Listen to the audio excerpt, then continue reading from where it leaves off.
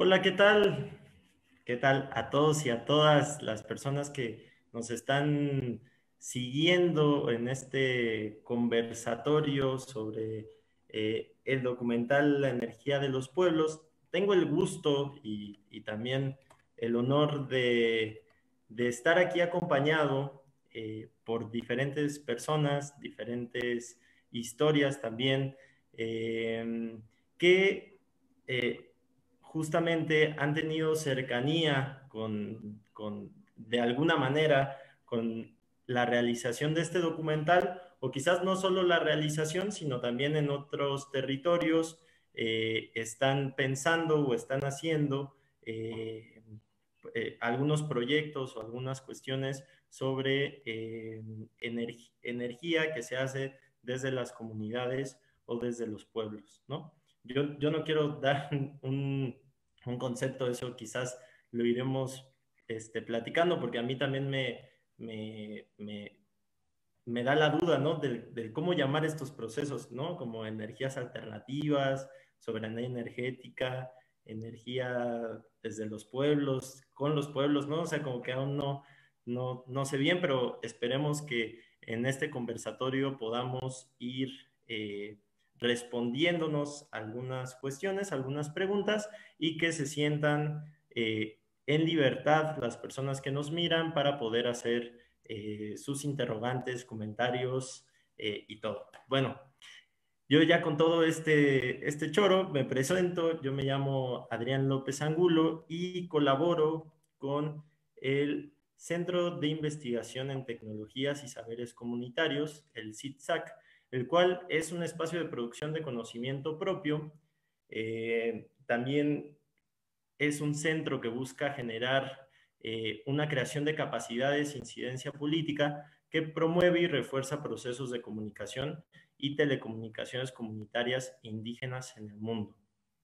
Buscamos atender a una necesidad creciente eh, de que las comunidades rurales indígenas e indígenas puedan definir formas de apropiación tecnológica que les permita acceder a los beneficios que se logra a partir del acceso, uso y apropiación de las herramientas de comunicación y tecnologías. ¿no? Eh, dicho de otra forma, el CITSAC busca ser eh, un centro que, no tenga centro, donde eh, repensemos de manera colectiva, conjunta, formas de hacer investigación que no necesariamente son eh, cercanas quizás a la academia, pero que están teniendo alto impacto dentro de eh, la vida comunitaria y dentro de, procesos comunitarios. Si me permiten también, voy a, presentar a las, a las personas que, nos acompañan, ¿no? Eh, específicamente, voy a empezar con, con María, María Combe, que es de eh, la colectiva La Sandía Digital.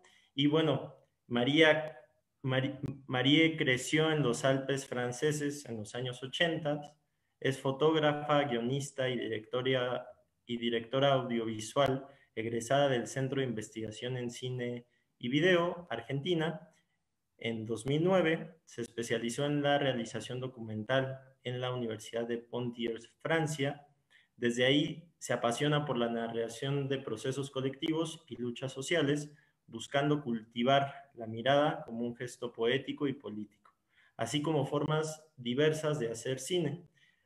Ha, estado trabajando en la producción audiovisual y formación para distintas productoras y asociaciones civiles en Argentina y Francia, antes de integrar la colectiva La Sandía Digital en el 2017 y la energía de los de los pueblos es su primer largometraje como directora.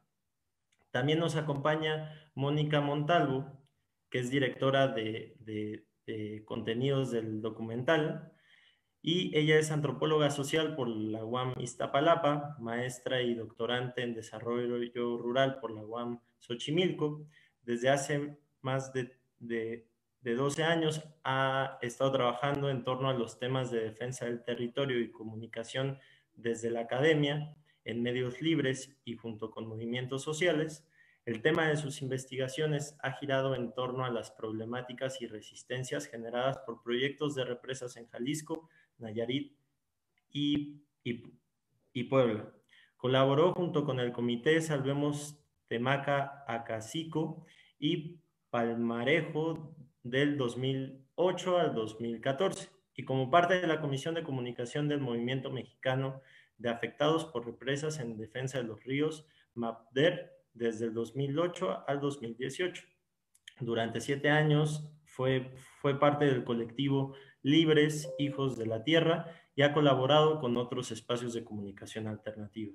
Desde el 2018 es parte de la Sandía Digital. Igualmente nos acompaña Sofía Alejandra García Pacheco, que ella es socia trabajadora de la cooperativa Onergia.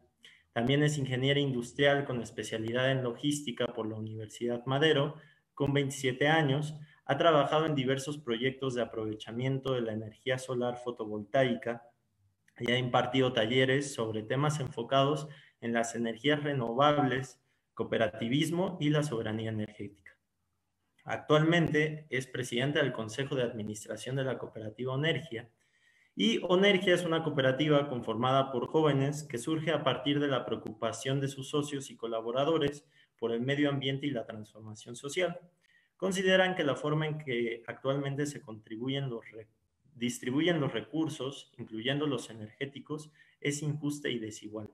Por ello, creen necesario construir con la sociedad eh, nuevas relaciones de producción y distribución de los mismos. Por tanto, se adhieren a los principios y valores del movimiento cooperativista internacional.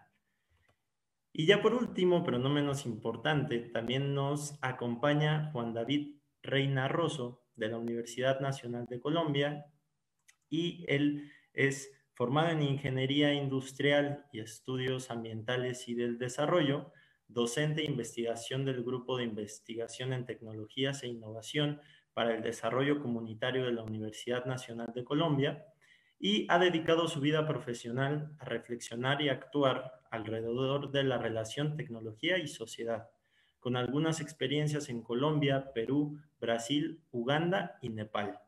A nivel del, sector de energía, ha colaborado con comunidades indígenas de la costa caribe colombiana en procesos relacionados a la apropiación social de la energía solar.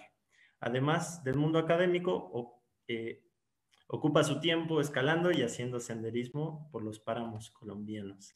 Buenísimo, pues eh, un poco son las, las personas que, que, nos estarán acompañando. Un poco esto fue también por eh, lo formal, buscando generar sus semblanzas, pero me encantaría que tanto desde la Sandía como desde Energía con Sofi y Juanda, eh, pues se presentaran y, nos dijeran un poco, eh, pues cuál es su relación con, estos procesos de, energías alternativas y cómo es que llegaron a, interesarse por estos temas.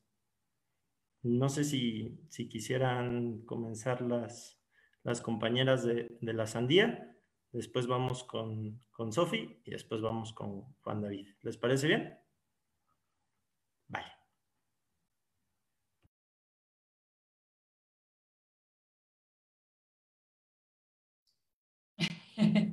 Moni, pues si quieres empiezo y me completas, ¿va? Perfecto. Este, pues nosotras desde la Sandía em, estamos trabajando desde, desde ya hace varios años eh, apoyando procesos de, comunicación em, de movimientos de defensa del territorio. Em, eso, bueno, pues casi, desde un inicio de la Sandía, ¿no? Pero digamos que sí hemos eh, dado un giro consciente eh, hacia esos temas hace unos años eh, y veíamos muy importante el, em, el, hecho de, pues nosotras como, como colectiva de, de producción audiovisual, eh, documentar no solo las injusticias, sino también todo lo que estaban haciendo las comunidades que pues que, hacían, eh, digamos, eh, permitían ver otras maneras de, pensar el desarrollo, ¿no? Este, desde, pues desde lo comunitario. Y entonces, de, pues eso, como una, como una crítica a un modelo de desarrollo y, un concepto de progreso que está impuesto desde el capitalismo. Eh, y entonces, pues un poco por ahí eh, le entramos al, tema energético. Bueno, Moni tiene como todo un recorrido también este, de investigación sobre los conflictos socioambientales y en particular las, en el caso de las represas, que luego lo puede contar más, más en detalle. Entonces ya tenía también, eh, pues estaba muy vinculada, ¿no? Con, varios procesos muy importantes eh, aquí en México. Em, pero bueno, eso, veíamos que el tema energético era un tema súper importante. Eh, estábamos también viendo que la llamada transición energética, pues también traía este, un montón de problemas este, y un montón de, pues, de cuestiones ¿no? de, despojo también en, en, el sur global y en particular en México. Entonces queríamos hablar de, desde ahí. Y eh, y pues en, ese momento eh, tuvimos eh, un, diálogo con la Fundación Rosa Luxemburgo eh, aquí en México, que estaba llevando a cabo una investigación sobre procesos comunitarios de, de, soberanía energética. Entonces dijimos, pues eso es un súper tema. a nosotras nos interesaba mucho documentar desde lo audiovisual ese tema y también para eh, eso, no solo mostrar pues todos los problemas que hay en torno a eso, a los proyectos energéticos, sino también soluciones concretas desde los pueblos. Sí, ahí eh, es, como, como, decía Mari, eh, pues la, lamentablemente existen en nuestro país y bueno, ah, ya el, compañero de Colombia también nos contará una infinidad de, proyectos ¿no? energéticos y, y, también desde hace muchos años hay una discusión en esos procesos, en esos movimientos para poder entender cuál es la raíz del problema, ¿no? Eh, creo que también eh, llegamos en, en, un momento en donde ya no solo hay una discusión en torno a no queremos ese proyecto, sino queremos pensar en, en otro modelo y entonces creo que ahí hicimos sinergias, ¿no? Eh, con muchos otros y otras que están apostando también desde diferentes lugares y eso creo que también fue algo muy, muy interesante, ¿no? Como nosotras aportamos desde el audiovisual, ¿no? Fue un placer conocer a, a Onergia, ¿no? Eh, eh, por ejemplo, los compañeros y compañeras de Geocomunes, que es un colectivo de geografía, que tienen un análisis muy fino sobre cuál es, es, la infraestructura, quién es quien está consumiendo la energía, y entonces como se puso todo eso en común, se hizo una sinergia y creo que ese es el, resultado. Y como decía Mari, nuestra idea también desde la Sandía es que eh, tenemos que apostar por la transformación de narrativas.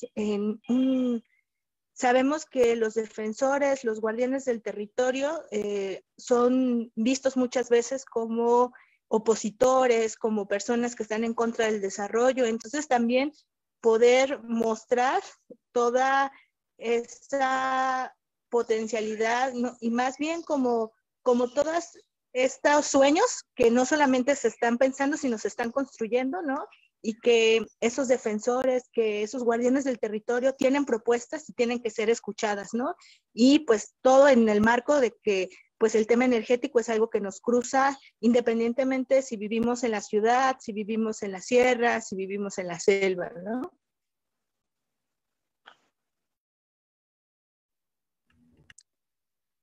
Bueno, pues yo soy Sofía de la cooperativa Energia. Para nosotros en nuestra cooperativa ha significado un trabajo bien bonito, justo por lo que ya comentan las compañeras de las sandías, eh, pues ha significado como eh, la unión de muchísimo trabajo y de muchísimos esfuerzos y de muchísimas personas, pensamientos, saberes, eh, el hacer este, este documental en energía eh, nos interesa muchísimo que las energías renovables no solo se, sean vistas como una como tecnología. Entonces, por lo tanto, no solo hay que decidir eh, sobre una transición energética desde aspectos de la tecnología, del conocimiento y de la ciencia, pues eh, como podemos ver en el documental y como podemos ver hoy en la coyuntura en la que estamos, producir hoy energía eléctrica en cualquier parte del mundo implica muchísimos recursos y muchísimas cosas y implica vida. Entonces, justo por eso no debe pasar solo por una esfera que es de lo, tecnológico, tiene que pasar por lo social y lo ambiental y por la vida misma. Eh, desde energía nosotros eh, llegamos a, este proceso de soberanía energética de la sierra en Puebla, eh, adhiriéndonos a la, Asamblea de Defensa de Territorio y la Vida de los Pueblos Macehual, Totonacus y Mestizos. Llevamos, vamos a hacer este año cuatro años trabajando de manera conjunta con la Asamblea y asumiendo eh, los mandatos de la Asamblea que, se han ido estableciendo, más bien que se establecieron hace un tiempo y es que los pueblos decidieron que iban a trabajar por una soberanía energética para su región, pero que querían dos cosas, trabajar desde una educación popular y también eh, trabajar con los, con los jóvenes que están en esta región. Entonces, eh, nosotros eh, lo que hicimos es diseñar un plan de soberanía energética en conjunto con, distintas organizaciones que ya tienen base allá para ir proponiendo pasos eh, que nos van encaminando un poco hacia una ruta que si bien aún no la tenemos clara cuál va a ser el fin, sí tenemos ahí algunos elementos que nos han ido dando claridad. Y es que definitivamente nosotros decimos eh, en la Sierra Norte de Puebla que queremos trabajar desde la soberanía, perdón, desde una organización basada en economía social y solidaria.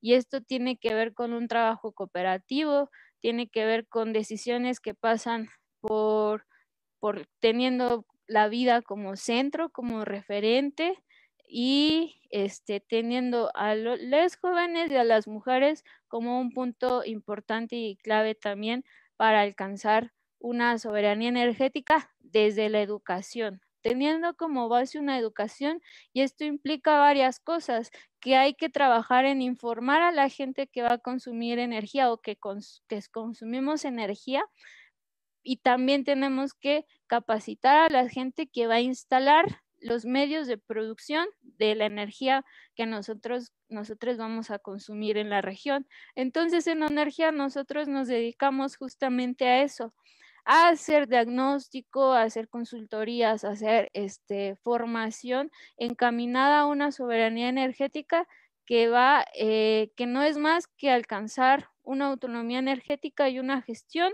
de los medios de reproducción eh, para producir energía eléctrica desde lo local y en donde se tiene como centro pues a la vida misma y los medios que son importantes para seguirla preservando. Entonces, eh, pues es así como nosotros hacemos parte de este bonito trabajo que se está dando allá en la sierra y fue como tuvimos también la oportunidad de ser parte no solo de este bonito documental, sino de una campaña de impacto que se llama las luces, luces de las resistencias, que ahorita iremos platicando un poco, que hace parte de la respuesta de la pregunta 3 que ahorita Adrián nos va a comentar. Gracias. Bueno, muchas gracias a, mis predecesoras. Eh, muy animado por, el, el documental, hoy es la segunda vez que lo vi, tuve la oportunidad de verlo el año pasado en un festival, digamos, de estos por internet que se dieron, entonces también agradecerles por, por ese trabajo que nos convoca hoy aquí a encontrarnos eh, desde, pues desde lo digital de nuevo, pero pues ojalá pronto sea también lo presencial para intercambiar estos conocimientos, estos saberes que extrañamos mucho, ¿no? Eh, un poco mi proceso ha sido más desde la academia, eh, digamos, todo un tema también de formación, por un lado, pero también de, praxis. allí en los territorios con comunidades rurales principalmente, iniciando desde la ingeniería, digamos, con una fuerte formación allí técnica, pero también con muchas preguntas alrededor de, ¿no? de las implicaciones sociales de, de, estas tecnologías, ¿no? De quién las produce, cómo se producen, quién se beneficia, quién no, quién no se beneficia, incluso también eh, es afectado y afectada por, por, ella misma, ¿no? Entonces allí, desde, desde la Nacional en Bogotá, eh, pues hemos, digamos, por, por esta idea también de, del reconocimiento a las universidades públicas, también su pensamiento crítico y cada vez más pues amenazado, pues tuvimos la oportunidad de, de, de, conocer diferentes procesos y movimientos sociales aquí en Colombia y conocer principalmente también muchas de esas demandas. A partir de ello, pues un poco nuestro ejercicio como colectivo también ha sido, eh, digamos, hacia múltiples niveles, no solamente energía, también telecomunicaciones, también temas de eh, productivos basados en biodiversidad, ¿no? esa relación con, las, con sus ecosistemas de las comunidades, energéticos, como, como ahorita les, les contaré. Y a partir de ahí, pues eh, digamos que fuimos relacionándonos con, con, muchas comunidades y muchas organizaciones. Aquí también pues eh, es un escenario para reconocer el trabajo de Sensat en Colombia, que ha trabajado mucho también alrededor de este tema, eh, reconocer el trabajo también de, de, eh, Ríos Vivos también, que seguramente ustedes conocerán. Entonces también, digamos, gracias a ellas, a estas organizaciones, también estamos allí, ¿no? Es un poco lo que les debemos desde un poco la investigación, a esa investigación también desde el territorio que han hecho estas organizaciones, que un poco, poco a poco nos hemos nutrido mutuamente de este diálogo bien interesante eh, con, con, ellas, ¿no? Principalmente. Eh, y a partir de, de, pues, de esas eh, búsquedas, tuve la oportunidad de, pues, de eh, ganar una beca alrededor de un poco entender esta relación entre arte, tecnología y ancestralidad, ¿no? ¿Cuál, ¿Cuáles son esos canales, cuáles son esas dinámicas y esas relaciones que podemos pensar allí?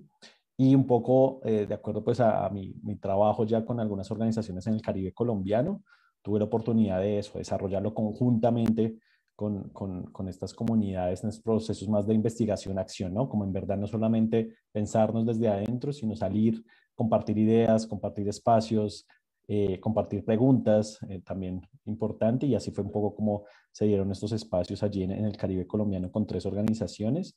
Eh, Magalis Polanco en Nazaret, en La Guajira, ya pues es parte de este programa de Mamás Solares de, la Universidad de los Pies Descalzos.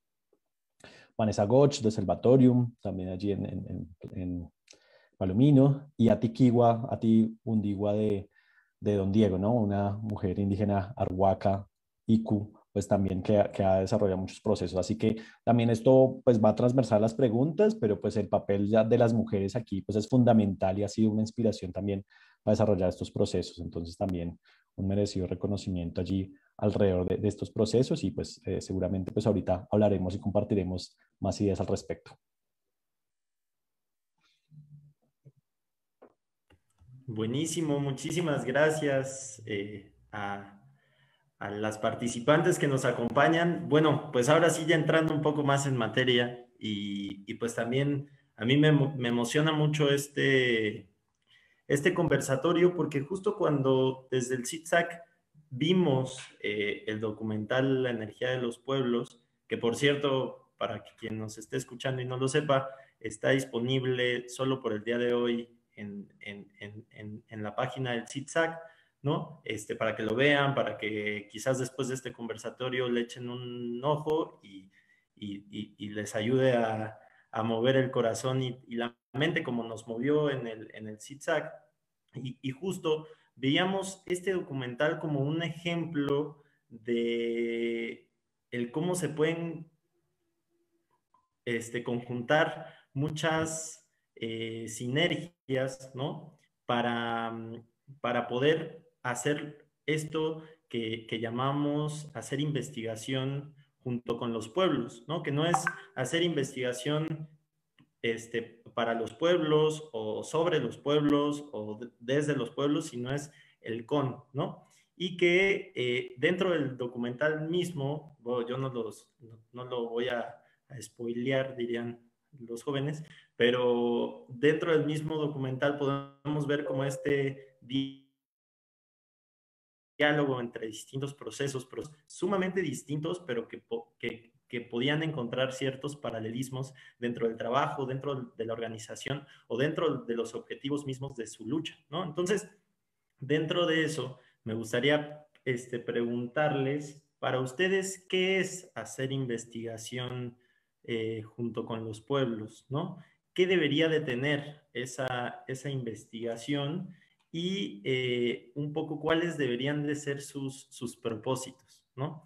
Y pensando mucho que dentro del documental también se relacionan como temas que en el CITSAC pues vemos bien importantes, ¿no? La creación de los audiovisuales, la creación de, las capacidades en torno a lo técnico, ¿no? Eh, también hay mucho que pensar con el tema pues regulatorio mismo de estos otros procesos eh, de autonomías, ¿no? Entonces, me gustaría que, que nos contaran y, igual así ir pensando en conjunto eh, pues cómo ustedes entienden esta investigación junto con los pueblos a, partir de sus, de sus diferentes procesos o experiencias.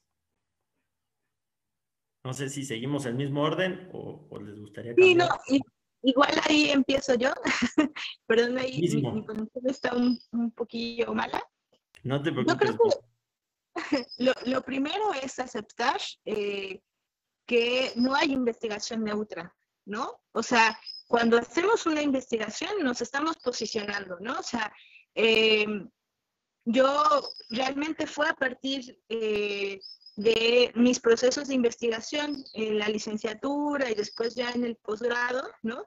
Que era muy claro, ¿no? Este, que, por ejemplo, las personas que podían hablar de los conflictos del territorio o, o no hablar de eso, eso implica eh, posicionarte, eh, el cómo estás entendiendo la realidad, en cómo aceptas también las relaciones, ¿no? O no. Entonces creo que el, primer punto es eso y la otra cosa es que los conocimientos eh, se tienen que interrelacionar. o sea, nosotros ahora desde la sandía, pues nuestra apuesta es desde la, desde la comunicación estratégica, desde las narrativas, ¿no? Desde el audiovisual pero entender que el conocimiento se hace de manera eh, colaborativa y desde diferentes miradas. O sea, si nosotras eh, solamente hubiéramos hecho el documental sin tener la reflexión que tiene Geocomunes o la reflexión que tiene Onergia o la reflexión que los propios procesos eh, tienen ¿no? a lo largo de todos estos años en los cuales han materializado eh, sus demandas, pues hubiera sido como, como difícil. Y el problema es que una, en las universidades muchas veces no nos enseñan a hacer trabajo interdisciplinario, o sea, uno solo se junta con antropólogos o solo se junta con ingenieros, o sea, eh, ya aprovechando que está aquí Sofi, o sea, es súper maravilloso saber que Sophie es ingeniera y que tiene un conocimiento técnico que se puede, eh, en el cual podemos aprender y así como el conocimiento que yo puedo aportar desde la antropología o el conocimiento que se puede aportar desde la geografía. Entonces, creo que el, en primero es ver cómo esa interrelación de las disciplinas, ¿no? Y que eso es como súper lindo que lo logramos y como decía Sofi, no se ha quedado solamente con el documental, sino que queremos seguir avanzando porque vemos que ahí hay una, eh, pues una mirada que es muchísimo, muy valiosa, ¿no? Y por otro lado, creo que también este tipo de trabajo sí confrontan, ¿no? Eh,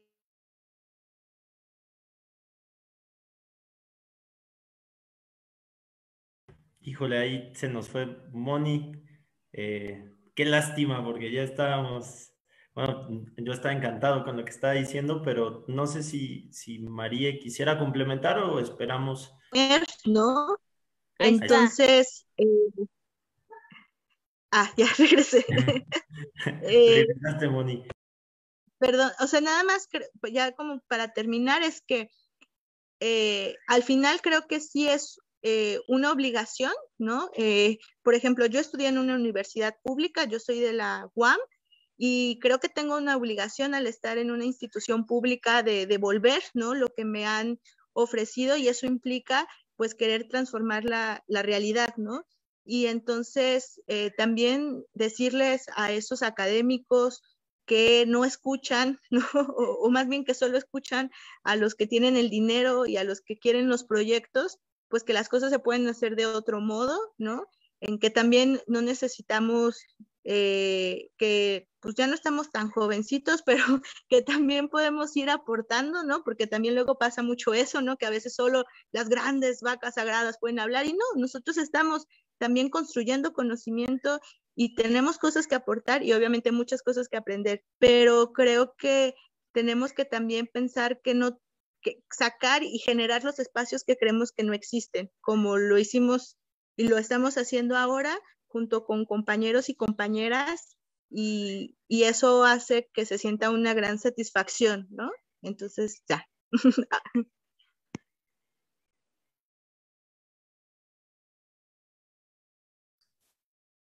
Sí, decir también que la, pues el, punto de partida del documental eh, fue esa investigación que estuvo, pues, eh, digamos, de, la iniciativa la tomó la Fundación Rosa Luxemburgo, pero la, la implementa Onergia, ¿no? Y eso de por sí se me hace bien interesante porque este, Onergia hace ese, ese mapeo de de, iniciativas energéticas, energético-comunitarias, eh, estando metida en el tema de manera activa, ¿no?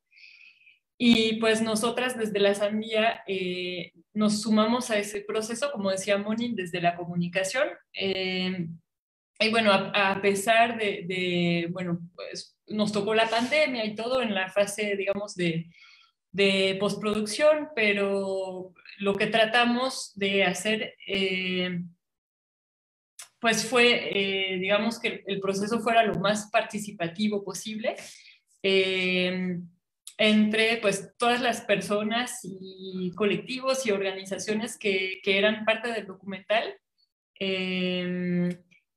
Y eso, fue, fue muy bonito estar eh, haciendo este, este documental, siendo parte ¿no? de, de, este grupo. Y realmente sí se fue formando un grupo y a partir de ahí, eh, pues una vez que se sacó el documental, sacamos a la par eh, la campaña de impacto, ¿no? que es la campaña de difusión del documental, pero que a su vez quiere, digamos, llevar eh, el documental a espacios no convencionales para seguir abondando a la discusión este, y, hacer algo, digamos, más, más vivo y más, este, em, más real, ¿no? Eh, que, solo este, estar como difundiendo en, espacios eh, de cine y en festivales y tal. Y pues la campaña este año, se formó una sinergia bien, bien bonita, ¿no? Entre entre todas esas organizaciones colectivas, movimientos, o sea, somos unos 15 más o menos, eh, que estamos haciendo vivir la campaña Luces de las Resistencias, y esto pues va a seguir este año, gracias a que, este, pues yo creo que cada quien está encontrando su lugar, ¿no? Desde, desde lo que decía Moni, ¿no? Desde eh, saberes eh, muy diferentes y complementarios.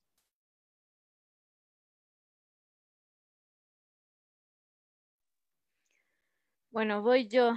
Eh, es una pregunta muy interesante, justo porque hoy podemos ver que hay muchas organizaciones, personas que se están empezando a meter este tema desde la academia, que están empezando a hacer investigación. También podemos ver que se están tomando decisiones muy importantes en nuestro país en torno, en torno a la energía. Pero cuando preguntas, Adrián, que qué es lo importante para este, hacer, este, ahí lo voy a leer, investigación con los pueblos, pues lo importante, lo primero es que hay que tener a los pueblos en el centro. O sea, ¿quiénes, ¿quiénes tienen que hacer investigación? Los pueblos. O sea, puede sonar descabellado para algunos, pero no puede haber investigación con los pueblos sin los pueblos. Y desafortunadamente es lo que está pasando que siguen habiendo espacios en donde se decide sobre los territorios y la naturaleza y no se les toma en cuenta. Eh, y no solo en la investigación tienen que estar, sino en el diálogo y en la toma de decisiones de, de, de este tipo, de esta índole. Entonces, primer punto, no puede, no puede existir investigación de los pueblos sin los pueblos. Ahora, para nosotros en energía, eh, esto es algo que decimos muy nosotros, que es que no puede, eh, no hay investigación sin trabajo de campo, sin, sin, sin eh, porque el trabajo de, campo implica varias cosas. organización, participación, comunidad, colectividad, y todo eso también implica relaciones, conocernos, compartir experiencias, compartir saberes y compartir la vida misma. Y no podemos crear soluciones y no podemos plantearnos eh, caminos para transitar, para construir una soberanía energética en donde no tenemos estas cosas. O sea, entonces aquí no solo puede haber una, o sea, es que ya no podemos inclusive creo yo desde mi, corta experiencia en estos temas, es que ya no podemos concebir una investigación en donde no existe esto, un intercambio entre más de una persona. O sea, hoy en día y en la situación y en la crisis social que tenemos, es, es no, no puede, o sea, en mi mente no me imagino que no exista esto. Hoy si uno quiere realmente hacer un buen trabajo, pero que, no solo es hacer un trabajo, sino que genere esto que dice Moni, ¿no? Regresar algo de lo que la vida misma nos ha dado y que lo los pueblos nos lo han dado y la sociedad, pues implica esto, ¿no? Que, nos permitamos conocernos en colectividad para poder construir en colectividad, porque finalmente ese debe de, ese debe de ser el fin propio de, de una investigación. Eh, ¿Qué más? Eh, yo secundo esto que dicen las, compañeras, que hay que investigar desde las diferencias. Es bien importante que una construcción eh, venga desde las diferencias, desde las interculturalidades, desde la interdisciplinariedad y este y bueno, Ah, nosotros, eh, nosotros en Onergia, pues eh, algo bien bonito justo ha sido eso, algo que, que mucho lo que pueden ver en el documental del trabajo que nosotros hemos logrado llevar con, con las organizaciones en la sierra ha sido justamente por eso, porque ha habido un intercambio y ha habido una participación no, no solo de las organizaciones, sino de realmente hablar con las personas, con las personas que conforman los pueblos, ¿no? Y justo eso es bien importante. Nosotros eh, hace un año tuvimos la oportunidad de hacer todo un, pequeño trabajo de diagnóstico de energético, un censo energético en una junta auxiliar en Cuetzalan que se llama Chocoyolo. Y fue un trabajo muy bonito porque que justamente ahorita estamos encaminando una investigación pero que parte de un, trabajo muy bonito comunitario y, en colectivo de, con los jóvenes que tuvimos en el proceso de formación con la Unión de Cooperativas Tosepan, en donde caminamos dos semanas toda la Junta Auxiliar y fuimos casa por casa, platicando con las familias de esta Junta Auxiliar, preguntándoles cómo consumían ellos energía, eh, no solo energía eléctrica, sino energía en, todas las esferas, en la, eh, en la, energía en las esferas de la vida cotidiana, por, ejemplo, en ese contexto. Y entonces fue muy bonito porque inclusive los jóvenes que de allá de Quetzalan desconocían muchas cosas de su propio contexto eh, geográfico y social y pudieron entender dónde está, dónde hay, dónde se encuentra el déficit energético de, sus pueblos. Por ejemplo, en esta parte es el pueblo Macehual. Y, y, de ahí ellos tomaron decisiones en colectivo, que fue crear su propia cooperativa de, jóvenes que trabajan eh, energías, redes eléctricas en baja tensión para mejorar la calidad de la infraestructura eléctrica que tienen los pueblos, ¿no? Eh, ellos vieron que ese es el primer paso, por ejemplo, antes de entrar a trabajar ya lo que tiene que ver eh, en, eh, energías renovables a pequeña escala.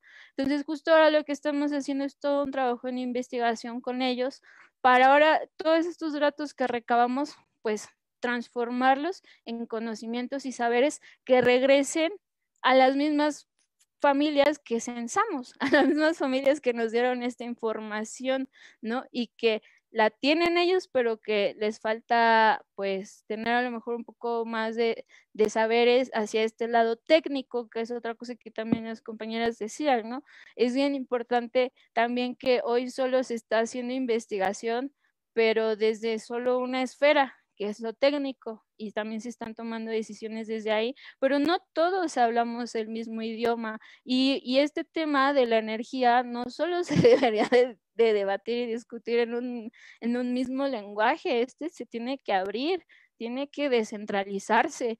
Y bueno, eso es un poco el trabajo que estamos haciendo con los compas igual y Totonacus, que es formándoles para que ellos también puedan crear su propio lenguaje y también puedan hacer su propia investigación y entonces también puedan construir sus propias eh, soluciones o alternativas tecnológicas, pero ya desde una visión totalmente diferente y sobre todo descentralizada y que nace de ellos y para ellos y que sobre todo ellos tienen muy claro que es para la vida misma, para la reproducción de la vida. Entonces, Aquí termino esta participación. Gracias. No, bueno, creo que no me queda mucho por, por añadir a esta, a esta, reflexión colectiva. Eh, yo creería que, que, primero como que ningún conocimiento está ajeno a un territorio, ¿no? O a un maritorio, ¿no? Todo está, está conectado y, y, esto siempre lo tenemos que, que tener en cuenta, acuerdo también esas relaciones históricas, sociales, culturales, embebidas, ¿no? Eh, e interdependientes a, a, ese territorio y eso lo vemos precisamente en los, en los trabajos de campo que menciona eh, Sofía, cuando vamos, experimentamos a nivel de cuerpo, ¿no? a nivel personal, también esa relación con el conocimiento. Y así como hablamos de, de soberanía energética, pues también tenemos que hablar de esas múltiples soberanías, ¿no? La soberanía tecnológica, de que debe estar acompañada, pero también la soberanía epistemológica, ¿no? Del conocimiento. También esas soberanías que las comunidades han por muchos años han creado sus propias formas de conocer, sus propias formas de compartir ese conocimiento, muchas veces a través oralmente, ¿no? Esas oralotecas históricas que poco a poco se han, se han ido generando y que podemos también entrar en ese diálogo, ¿no? desde nuestra forma que nos han educado en estas universidades, ¿no? Una forma ¿no? occidental, positivista, en el caso de la ingeniería, hacia abrirnos y también que, esa producción y esa investigación con los pueblos sea una oportunidad para desaprender, desaprender formas, desaprender modos, que, en verdad nos permita también que esos procesos de investigación de la mano sean procesos pedagógicos para nosotros mismos como investigadores y para las mismas comunidades, ¿no? que siempre sean en doble vía estos, estos procesos donde uno en verdad entiende las complejidades de la generación de ese conocimiento, pero también las oportunidades en él. Algo pues eh, importantísimo, yo creo que eh, para añadir, allí es el tema pues de, de, la deslocalización de la generación de ese conocimiento, sacarlo de las instituciones históricas, ¿no? De, para ponerlos allí en los territorios, ¿no? Poner esas discusiones, poner esos diálogos de saberes o esas ecologías de saberes allí en territorio, documentar, creo que también es, es, es, muy importante esas otras formas de documentar. Entonces aquí pues tenemos eh, a la sandía como esa maravillosa, eh, maravilloso documental y otras formas, ¿no? A nivel de, no sé, eh, paisajes sonoros, también postales sonoras, también escritos, poemas, también esto tiene que tomar múltiples lenguajes y no puede, digamos, quedarse igualmente en mucho que quizás en la academia, pues ha sido la historia de los artículos y libros que están cerrados, ¿no? Entonces esto también tenemos que abrirlo, tenemos que ir por esta, esta aventura de la cultura libre, ¿no?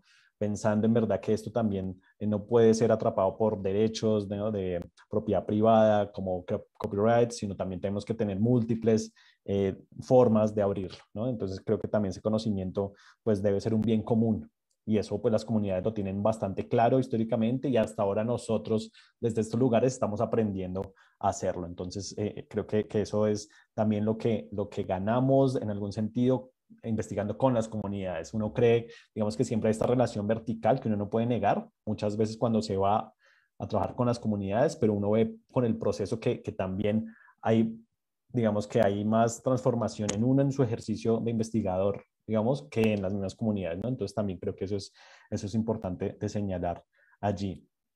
Y a nivel de propósito, yo creo que, que pues finalmente debe ser esa transformación social eh, completa, no solamente en este territorio, sino también dentro de las mismas instituciones que, que toman las decisiones, ¿no? Sabemos que, que, que, las universidades son unas instituciones que llevan 500, 700 años siendo la misma y poco a poco con estos estudiantes de licenciatura, de, de, de posgrado cada vez más que estamos allí adentro, pues también hay una batalla y es un lugar aún en disputa, ¿no? La academia sigue siendo un lugar en disputa, como los territorios en otras índoles, pero también tenemos que, que seguir allá pensando de otras formas y pues eh, llevando la voz también de quizás de las, de las personas que no pueden a, a entrar a estos espacios públicos por las limitaciones, también como garantes de ese conocimiento. Entonces también creo que eso es lo que también podemos hacer, ¿no? Desde, desde, ese, desde, esas, desde esos propósitos, ¿no? Generar esas ecologías de conocimiento.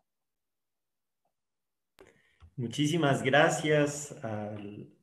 Bueno, ahora sí que mi cabeza está en un mil por hora porque siento que, que se dieron respuestas muy puntuales, ¿no? Y que, y que vale mucho como, como la pena eh, ir y seguir como pensando esto, este, esta pregunta, ¿no? Bueno, para el CITSAC es como de las preguntas centrales y por eso siempre hacemos estas reflexiones con eh, los invitados, las invitadas, ¿no? Me parece sumamente importante en este tema eh, y esto, esto que decía esta Mónica sobre que una investigación nunca es neutral, ¿no? Y que se genera a partir de, de tomar posición o postura sobre algún fenómeno, bueno, no sé si fenómeno, pero alguna situación en concreta que se da en una realidad que, o sea, que puede tener eh, pues muchísimas aristas, ¿no? De, de dónde mirarla, ¿no? Entonces, en, este, en, en, esta otra pregunta que me gustaría hacerles, que ya es más centrada en materia sobre lo energético, ¿no? La pregunta es, ¿por qué es importante hoy en día, en este contexto, en este mundo hablar sobre la energía, ¿no? ¿Qué hay detrás de, de, de esta energía que, pues, que existe, ¿no? ¿Qué es lo que, lo que vemos? ¿Qué es lo que no vemos? Y eh, un poco en ese sentido, pues hacer la distinción y que, bueno, en el, en el documental se, se, va mirando, eh, la distinción entre la energía que viene desde las empresas, a la energía que es construida desde los pueblos, ¿no? ¿Cuál sería esa diferencia? ¿En, qué se diferencia? Eh, y un poco ir, ir pensando en, en, en, ese, en ese punto específicamente para ir viendo o ir conociendo cuál es su posicionamiento eh, en este tema. Ahí si quieres, yo, yo inicio un poco también para darle la vuelta a la conversación y no, perfecto, no, perfecto. no, tomar un, una rutina también en estos espacios, Buenísimo. aunque también pueden saltar, digamos, a la conversación cuando, cuando quieran, invitadas también.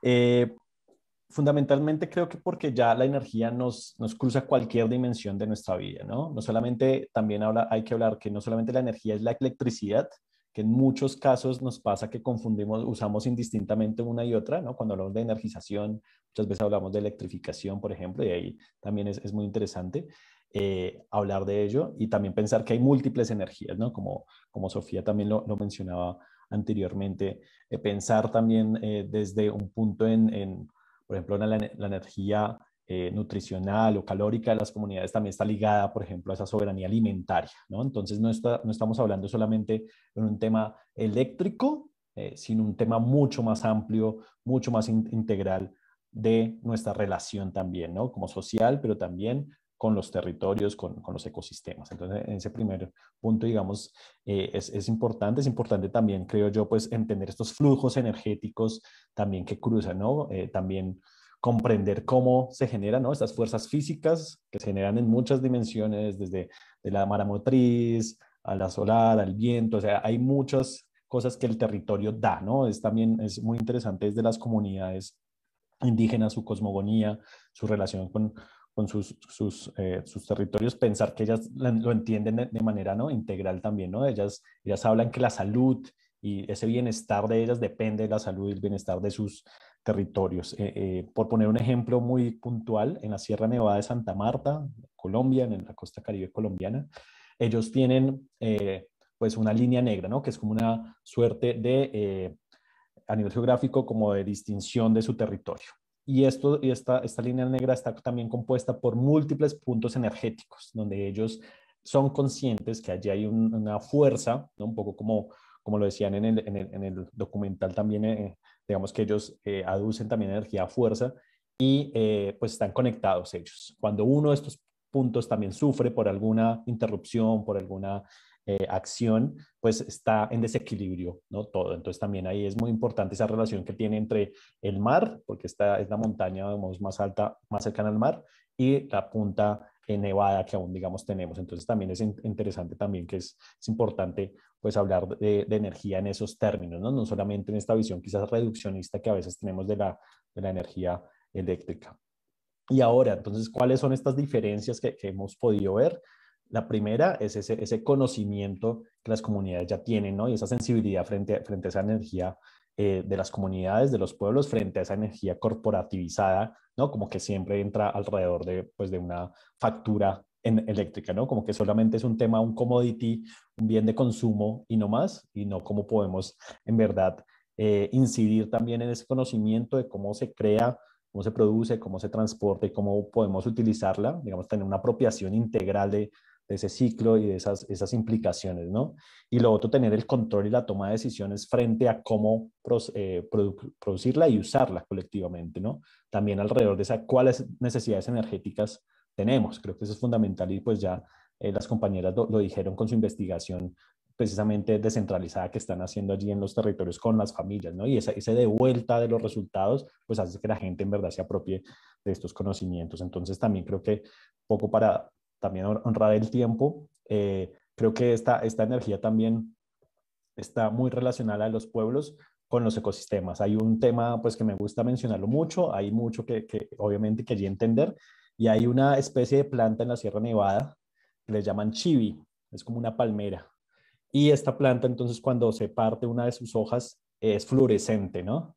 Entonces también hay toda una una historia alrededor de que ellas, estas comunidades, a pesar de que no están interconectadas a un sistema eléctrico nacional, digamos, pues de alguna manera también tienen una suerte de autonomía en las noches y quieren alumbrar, ¿no? Eh, caminos, eh, sus, sus, caminos, y no dependen de una solución tecnológica, sino de su relación y su entendimiento con, con, esta, con este ecosistema. Entonces, evidentemente, esto también sale de cualquier postura tecno, ¿no? Tecnocentrista a veces que tenemos mucho y buscar, y para ver también esas otras soluciones que las comunidades han tenido, ¿no? Entonces eso lo quería un poco compartir, que creo que pues vale la pena ponerlo sobre la mesa. Este, si nos puedes luego poner en el chat exactamente cómo se llama esa planta. Tengo mucha curiosidad. Por supuesto, por pues supuesto. No sé, este, Moni, si quieres que empiece y ¿Me sigues? Sí. Sí, sí, sí. Vale. Pues este, nosotras desde la sandía estuvimos pues justamente eh, mucho con esa pregunta, ¿no? De, por qué es importante hablar de energía. Eh, y pues lo que veíamos es que los modelos energéticos eh, actualmente en, en, el mundo y pues aquí en, México, en Guatemala, pero pues en el mundo, eh, en realidad son el sostén de la economía capitalista, ¿no? Y que pues nosotras lo que vemos es que realmente los estados ahí lo que hacen es garantizar la producción de la energía y la distribución para la industria, básicamente, y para pues eh, un modelo que, que produce este, mercancías y pues de, esa misma manera, entonces la energía es una mercancía, ¿no? Eh, y entonces en ese sentido, pues también los, los estados eh, se ponen, como son esos garantes, también, eh, digamos, están también en el centro de una, una pelea geopolítica mundial para garantizar el acceso a, a, las materias primas que permitan eso, ¿no?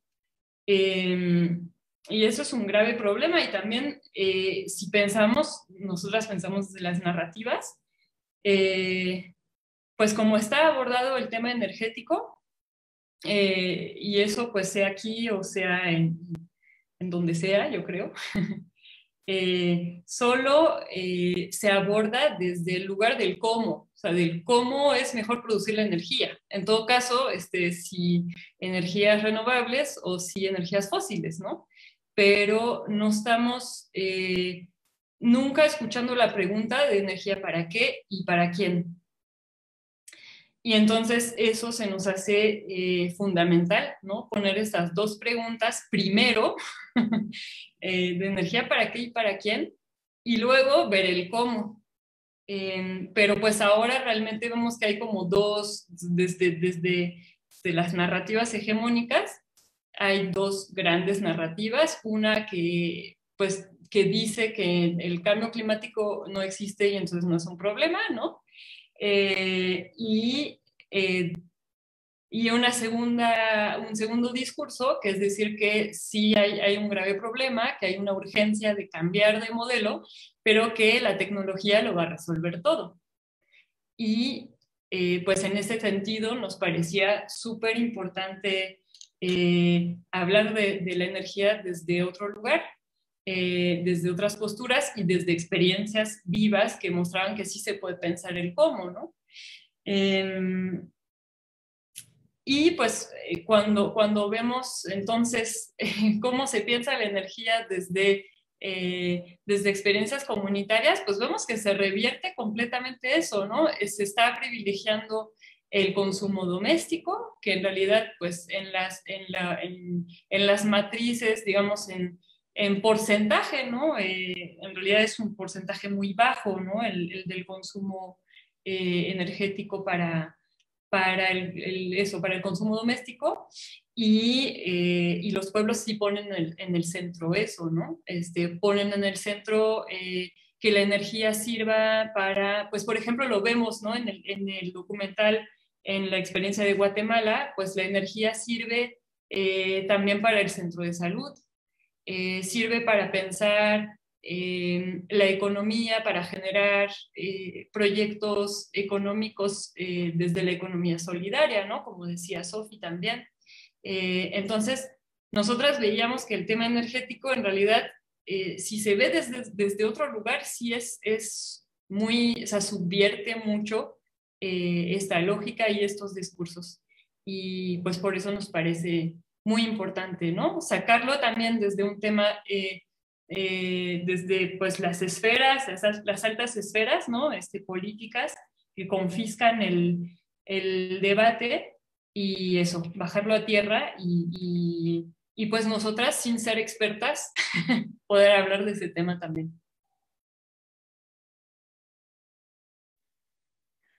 Bueno. Sí, nada, más para, ah, para abonar, creo que, sí, nada más creo que, que por otro lado también eh, otros compañeros y otras nos han eh, ayudado también a, entender que la energía es un derecho.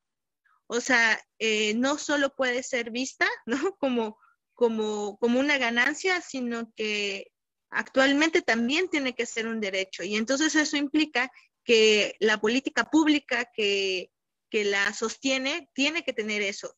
En ese momento eso no pasa. O sea, está priorizando los intereses de los grandes consumidores, que como ya decía eh, Marí, son las empresas extractivas, es la minería, es la, ah, las actividades, por ejemplo, como las cementeras, eh, les recomendamos revisar también la página de la energía de los pueblos. Ahí pueden encontrar, por ejemplo, la eh, nueva investigación de geocomunes, unas infografías donde vienen exactamente esos porcentajes, ¿no? Eh, que ya estábamos como, como compartiendo. Entonces, creo que eso es como también una manera eh, de poner el tema. Y la otra es que tenemos que también repensar en general todo el modelo. O sea, eh, creo que las luchas de, los territorios en contra de los proyectos mineros, hidroeléctricos, fracking, pues eh, dieron como lugar a esta reflexión de que se necesita pensar en otro modelo, ¿no? y obviamente un modelo en donde no esté lo económico en el centro. Y creo que eh, ahora también eh, con lo ocurrido a inicios de año, ¿no? en Estados Unidos, en el norte del país, sabiendo las consecuencias concretas, ¿no? De, de todo este colapso ambiental, urge poner este tema que nos va a afectar a todos y todas. O sea, nos cruza. Ya no es algo que puede ser que no queramos tocarlo, pero eso no quiere decir que no nos va a afectar. Entonces, también cómo logramos que estas discusiones realmente sean entre diferentes sectores, en donde esas voces que han tenido que, que ser, eh, o más bien, que pues por esos proyectos han sido despojados, puedan estar en la discusión pública y que pensemos el consumo. Eso es otra cosa, no podemos también trabajar el tema energético pensando una transición popular, una transición junta, sin cuestionar el consumo.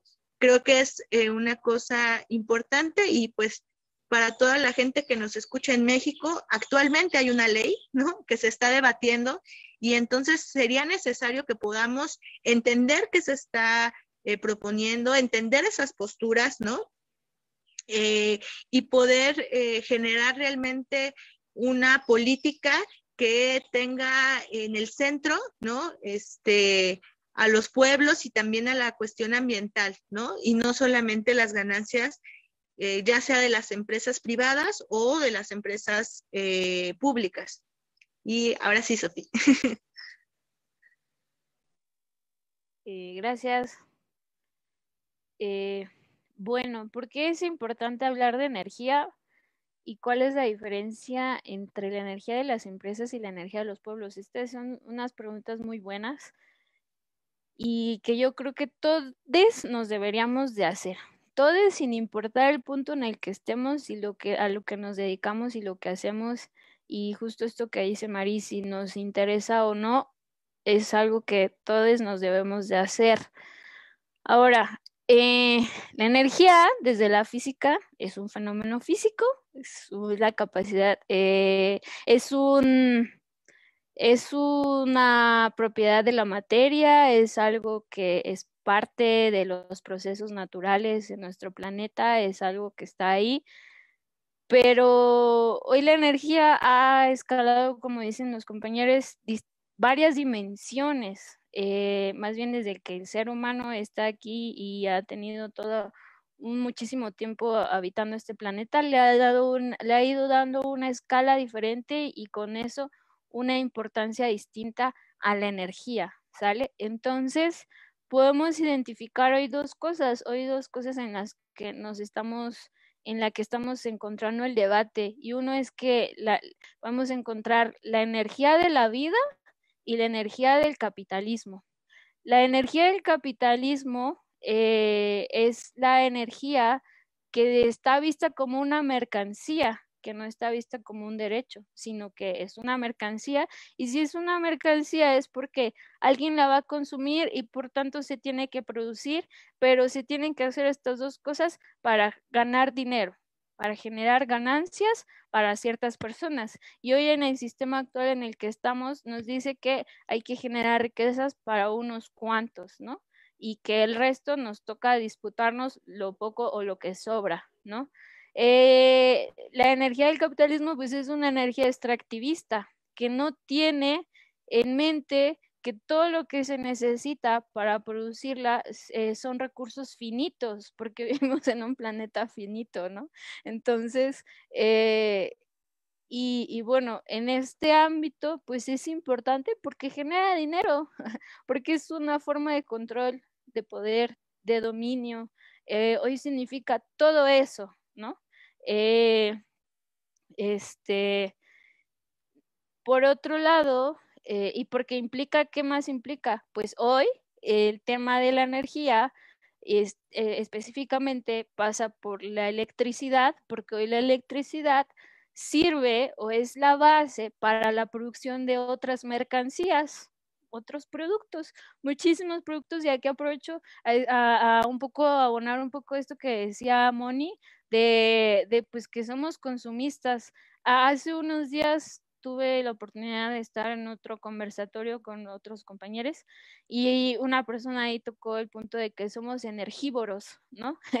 Entonces vivimos en un sistema que nos ha obligado a consumir energía artificial, porque es energía que el ser humano produce y nos ha vuelto energívoros para no solo consumir energía a través de la tecnología de las aplicaciones del Internet, sino para consumir otro tipo de mercancías como electrodomésticos, más tecnología, como muchas cosas, y vivimos entonces eh, para trabajar, para ganar dinero, para consumir energía, ¿no?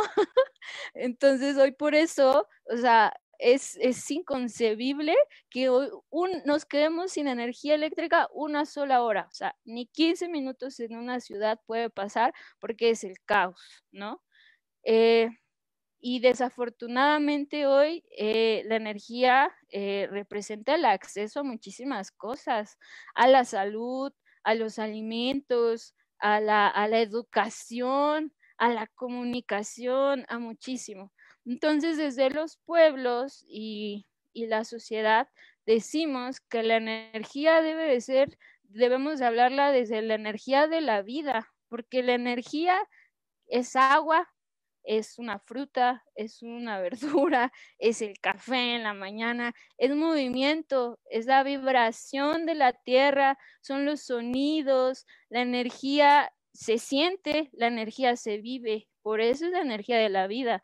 Y, por ejemplo, podemos hablar del petróleo, eh, que hoy es uno de los recursos que prácticamente ya nos acabamos y que el petróleo es también conocido desde los pueblos como la sangre de la tierra, que hace parte de lo que nutre a la tierra, eso que nos permite poder cultivar nuestros alimentos y que hoy lo más bien hoy no, pero eh, por distintas coyunturas se decidió extraer para producir combustibles para transportarnos, para producir plástico, para producir otras cosas que realmente pues no deberían de ser lo importante, que realmente podemos vivir sin ello, pero vivimos en una especie de imaginario en el que nos dicen que hay que tener estas otras cosas porque los alimentos y lo demás pues no son lo importante, o sea, porque la vida no es lo importante. Sin embargo, vivimos en un planeta en donde la energía es el elemento, uno de los elementos básicos para que la vida se dé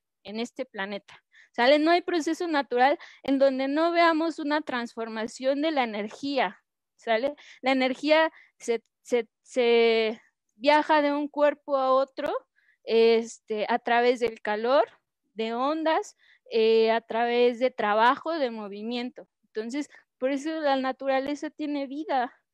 Eh, y bueno, entonces, por eso hoy debe de ser importante hablar de ella, pero desde la energía de la vida y no desde la energía del capitalismo. Ahora, es bien importante que, que tengamos esto en mente para entonces poder entrar a discutir y a debatir todo lo que se está eh, hablando en, temas este, legales sobre eh, nuestro sistema eléctrico nacional. Si nosotros seguimos creyendo que la energía es solo pasa por esferas de la energía eléctrica para producir mercancías o porque la seguimos viendo como mercancías, pues vamos a seguir igual. Nada va a cambiar, el sistema eléctrico lo vamos a, a, a este, pues el, sistema eléctrico siempre nos va a quedar corto si nosotros seguimos generando una matriz energética enorme, enorme, enorme. Ahora queda dejar en claro que, por ejemplo, en México, del 80, del 100% de la energía que se produce, el 80 se va para el sector industrial, de el sector que es la industria mediana, ¿sale? Y solo un 20% se va a pequeños comercios y de eso el otro, otra partecita se va al consumo residencial, ¿sale? y aún así hablamos que tenemos un sistema eléctrico que nos sigue quedando ineficiente y no solo ineficiente, sino que carece de, de mantenimiento, que carece de muchísimas cosas, que hoy tenemos pérdidas de cerca del 15% de energía, que hoy somos dependientes de, de combustibles con otros países. Entonces, cuando la energía eh, debería de ser gestionada, y producida desde lo local porque se puede.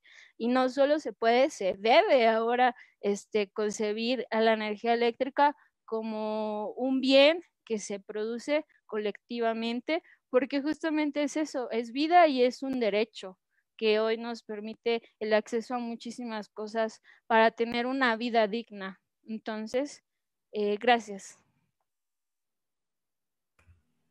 Híjole, muchísimas gracias. Este, Sofi, de verdad que tu respuesta me, llenó un montón. De, en, esta pregunta siento que, bueno, a mí me quedó muy, muy claro como esta distinción, ¿no? Y también como la importancia misma de hablar de energía, pues no es nada más que, que la energía está siendo la base del de, sistema, de un sistema, ¿no? O sea, como, pero también es, es diferente en distintos sistemas, ¿no?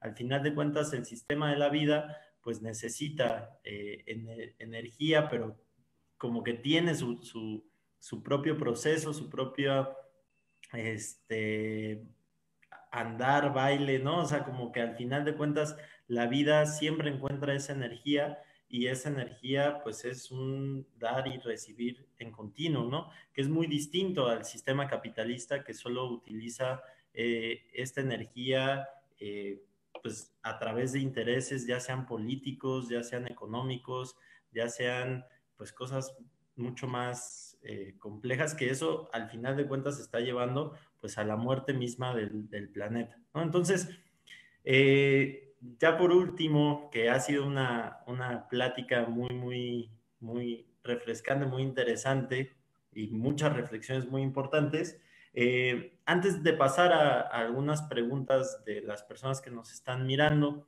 que si nos están viendo les invito a que nos cuenten eh, qué están pensando en sus territorios, ¿no? Si conocen algunas de estas eh, experiencias que nos platican, si tienen alguna pregunta, duda, comentario, todo es válido porque al final de cuentas, como ya decíamos, hay que hacer investigación desde la diversidad y pues no hay diversidad sino si no existen estas preguntas y estas reflexiones. Y bueno, la última cuestión que me, que me gustaría este, preguntarles, y pues ya sin orden, justo como dice Juanda, a ver quién resuena con la pregunta y lo que les, les gustaría eh, este, contestar. Un poco dentro del documental me pareció sumamente eh, importante el papel de la mujer dentro de estos procesos eh, organizativos y de y autonomía eh, energética, la pregunta sería, pues, ¿cuál es la importancia para ustedes de visibilizar eh, el papel de la mujer dentro de los procesos mismos, ya sea de, autonomía energética o los procesos mismos en, en, los que estén colaborando, ¿no? ¿Qué les hace pensar esta, pregunta. Igual, pues es una pregunta bastante amplia, pero me encantaría escucharles.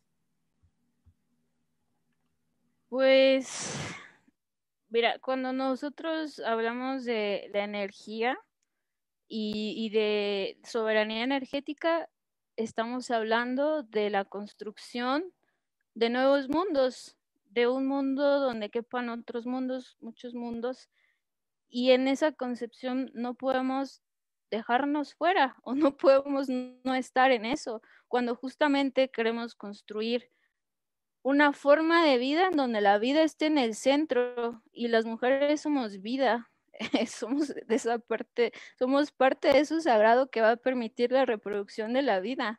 Entonces, desafortunadamente sucede lo mismo que con la energía que también es vida, se nos ha mercantilizado nuestros, nuestros cuerpos se han mercantilizado, este, nuestro tiempo se ha mercantilizado, muchas cosas han sido oprimidas por el sistema actual en el que vivimos, ¿no? Eh, ahora, creo que, eh, por ejemplo, el documental es, es, muy bonito también porque resalta justo esta otra parte, ¿no? A mí me gusta hacer esta reflexión que es que la energía es la capacidad que tiene un cuerpo para realizar un trabajo, pero un trabajo que genere un cambio, ¿sale? Y las mujeres también tenemos cuerpo y por tanto también tenemos la capacidad para producir movimientos y trabajos que generen cambios sustanciales también, porque también queremos luchar por una vida digna, no solo para nosotras, sino para también todo, nuestro, nuestro colectivo, nuestra comunidad, para nuestros pueblos. Entonces es bien valioso que no solo en estos procesos de energía, o sea, que no solo hablemos como de específicamente de procesos de energías alternativas, sino de procesos comunitarios, ¿no? Entonces, esto es algo que desde la economía social y solidaria debe de ser impulsado. No puede existir procesos organizativos o cooperativistas en donde tenemos una minoría de mujeres o, participación nula de estas. Ahora, me permito contarles la experiencia que nosotros hemos tenido desde Onergia con el proceso, bueno, con varios procesos en, en, este país, en este momento país, y es que, por ejemplo, con la Unión de Cooperativas sepan a partir del proceso de formación que nosotros tuvimos, eh, realmente Em, eh, intentamos y luchamos muchísimo porque eh, tuviéramos una participación igualitaria de hombres y mujeres en este proceso. Tristemente no, no lo logramos. De 27 jóvenes que tuvimos, solo cerca de 10 fueron mujeres, un poquito abajo, y en el transcurso de, del, del proceso, algunas fueron desistiendo, justamente por, por muchas cosas que seguimos cargando, que tiene que ver que con quién, quién cuida a los hijos en la casa, quién hace comer en la casa, tiene que ver con que tienen que pedir permiso para para lo que ellas decidan hacer, tienen que ver con que el acceso a la educación sigue siendo negado para ellas, tienen que ver también con una cuestión de que muchas mujeres seguimos viéndonos que no podemos ser ingenieras, que no podemos ser investigadoras, que no podemos ser cineastas, que no podemos ser este, lo que queremos ser, ¿no? Entonces, eh, afortunadamente eh, logramos tener eh, para nosotros significó muchísimo eh, contar con una participación recurrente y constante de, tres compañeras que son madres, eh, madres solteras y también madres que, están formando una familia eh, a una corta edad, o sea, las tres están cerca de los 20 años y entonces fue bien bonito verlas cómo se fueron deconstruyendo y construyendo desde la energía, desde la energía de los pueblos, ¿no? Desde que ellas se dieron cuenta que pueden ser electricistas, que pueden agarrar herramienta, que hay herramienta que está hecha a su medida, que pueden aprender conocimientos este, nuevos, diferentes, que pueden decidir sobre, sobre, lo, sobre su trabajo, que el trabajo por el que están luchando es un trabajo digno para tener una vida digna. Era bien bonito verles decir, es que yo estoy aquí porque yo quiero darles algo diferente a mi familia y también al, al lugar en donde yo estoy, ¿no? Era bien bonito verles como desde su cultura que era bien importante para ellas, pues también les, era importante luchar por la vida y, lo lograron entender. Entonces estas tres compañeras fueron, son parte de, de, la cooperativa que, que, se gestó a partir de este proceso de formación. Y bueno, desde Energía, para terminar, también ha sido bien importante eh, el, el desmasculinizar el sector energético, porque hoy es uno de los sectores, como muchos, que, en donde sigue habiendo participación de hombres en estos temas. Entonces, eh, ¿qué estamos haciendo un poco para atacar esto?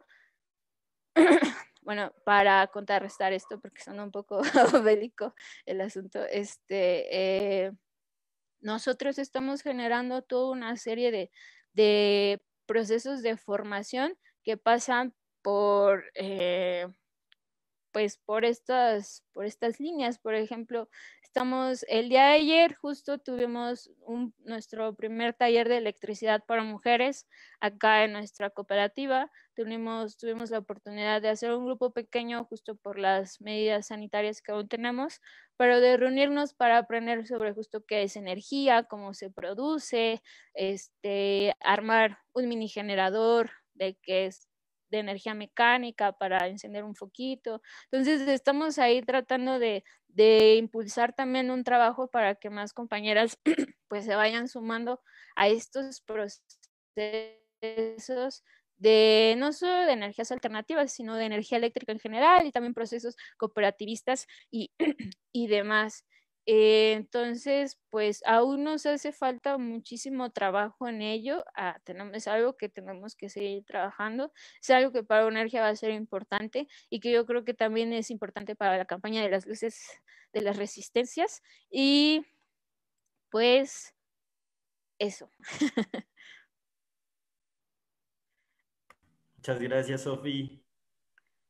Sí, pues em, de, me parece antes que, nada bueno que se pueda reflejar en el documental exactamente a esas compañeras, ¿no? Que desde su diversidad son fundamentales en los procesos y eso no fue casual, ¿no? Eh, creo que para nosotras desde la sandía sí hay una apuesta, eh, no solo por la realización de, de la producción audiovisual eh, desde diferentes, desde otras narrativas, ¿no? Entonces, que no solo eh, estemos nosotras atrás de las cámaras, ¿no? Sino también eh, que esas historias sean de, de, las compañeras que desde su diversidad, ¿no? Este, pues están haciendo esa apuesta cotidiana para transformar la, la realidad. Obviamente, como decía Sofi, exactamente este, este, ese tema eh, pues es muy masculino, ¿no? Este, si nosotros hiciéramos una revisión de cuánto, o sea, no hay, por ejemplo, en México no ha habido una mujer encargada de la Comisión Federal de Electricidad, ¿no? Apenas hubo una en la Secretaría de Energía, o sea, casi todos los puestos altos y medios de parte de los promotores de los proyectos energéticos son hombres, ¿no? Eh, entonces, eh, bueno, y creo que también eh, cada vez más gracias a compañeras que ponen eh, el dedo y, que señalan también la importancia de tocar ese tema en, los espacios organizativos, ¿no? Y también de que esas eh, acciones que, hacen las mujeres no sean invisibilizadas, ¿no?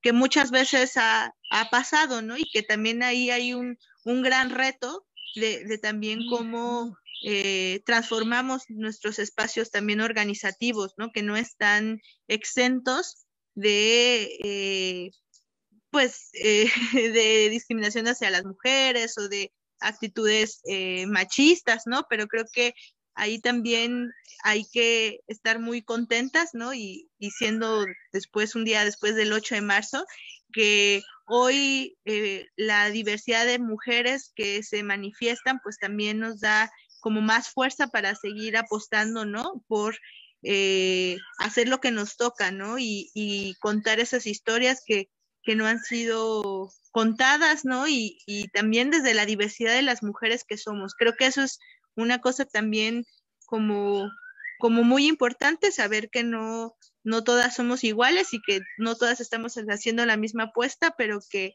que ahí vamos y que necesitamos también, este, pues sí, estar más presente en los debates. O sea, eso también pasa en la academia, ¿no?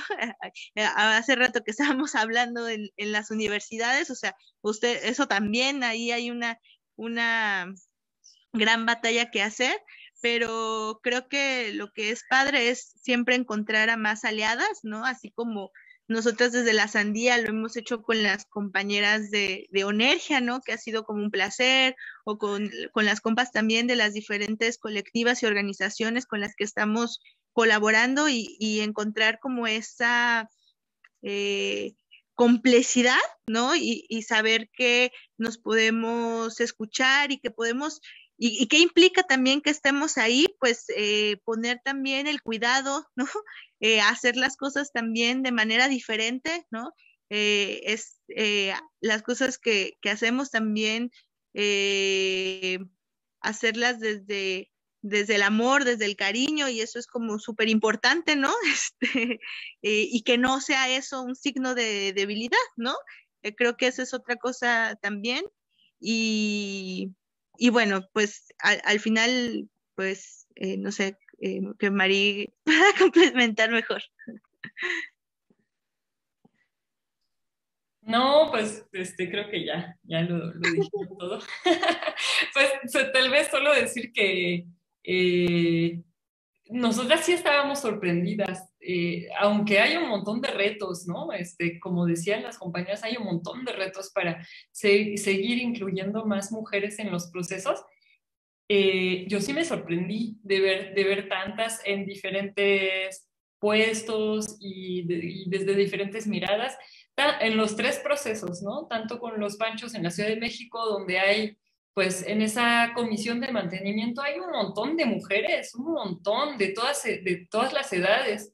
Este, igual en, en Cuetzalan, ¿no? Como, como comentaba Sofi, y pues lo mismo en, en, Guatemala, aunque sí, sí hay retos, ¿no? De que tal vez eh, puedan participar también en, eh, desde lugares más técnicos y desde la toma de decisión.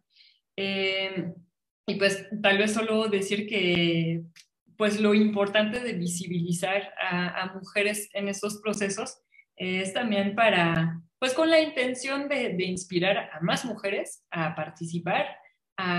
sabemos, ¿no? El, poder de las historias también en ese sentido, en encontrar inspiración e impulso para efectivamente, como decía Sofi, pues ser lo que queremos ser. Bueno, primero también admirado por su trabajo y reconociendo su trabajo aquí, Sofi, Mari, Mónica, muchas gracias por, por, también hacer eso. Yo reconozco un, un poco también eh, que muchas veces gracias a esos privilegios que en una academia, sobre todo en una carrera como ingeniería, ¿no? Hacen que quizás hoy también esté aquí cuando deberían también estar quizás otras personas, eh, otras mujeres que también han trabajado en este tema, pero particularmente pues eh, sobre todo por unas brechas también de acceso a la energía y acceso a Internet, digamos, eh, Ati Undigo en la Sierra Nevada no puede acompañarnos, que me encantaría también, o eh, Magalis Polanco, indígena guayú, en la alta sierra de la Guajira, la alta Guajira, eh, tampoco puede acompañarnos, ¿no? Entonces también hay unas, hay unas barreras que aún hay para que no nos acompañen y debemos, ¿no? Enfrentarlas y debemos sobrellevarlas, ¿no? Entonces eso es muy, muy también importante reconocer ese, ese trabajo que, que gracias un poco a, a, ese caminar ese territorio, a, a esa abrir también las puertas de sus procesos, eh, de estas mujeres liderado por estas, estas líderes lideresas eh, en Colombia que sabemos que como en México también son eh, pues muy un, un, lugar de vida muy difícil, ¿no? Son, digamos, los, lugares donde hay más asesinatos a líderes ambientales, ¿no? Por estas condiciones de, de, conflicto nuestro. Entonces también admirar su, su, trabajo allí, su tenacidad y su continuo transformar. Hay mucho trabajo muy bonito detrás de todo ese documental. Bueno, yo no tuve la oportunidad de ir con las compas a, Guatemala, pero también cuando fueron ahí hay muchas anécdotas. Este, y también allá con los compañeros de los panchos.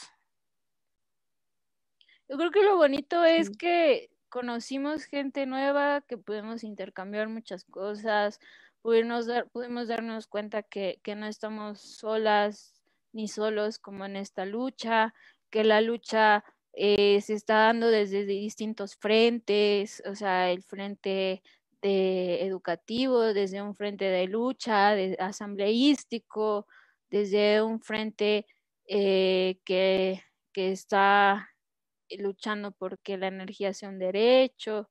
Eh, hay muchos frentes y yo creo que eso es muy bonito, eso es algo que se vivió muy bonito. Este, pues igual, eh, sin saberlo, grabamos la última asamblea que se ha hecho, ¿no?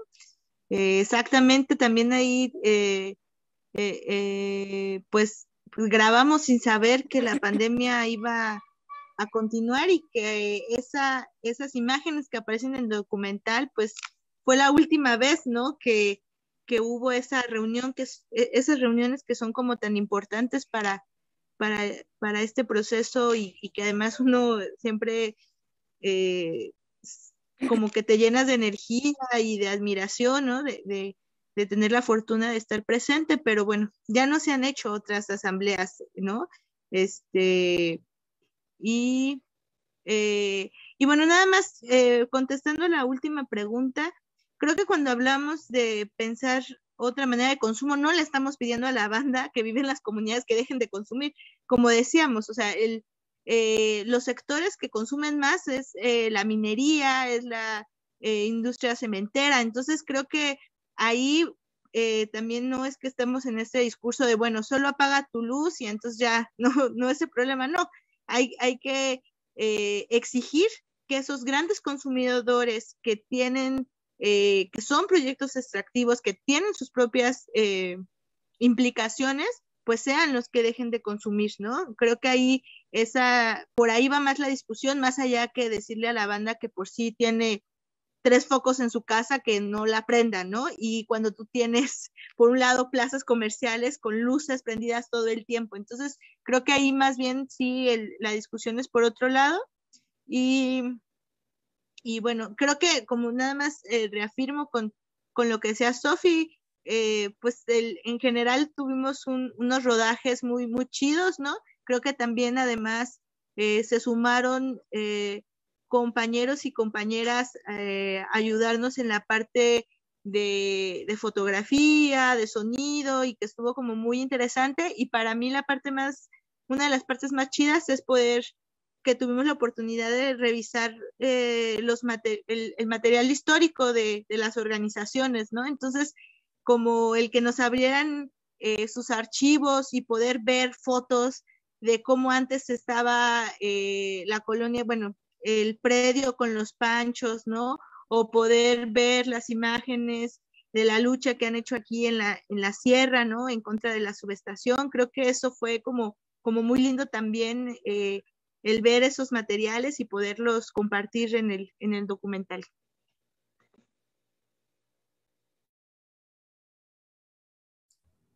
Muchísimas gracias. Eh, ahora sí que está abierto el micrófono.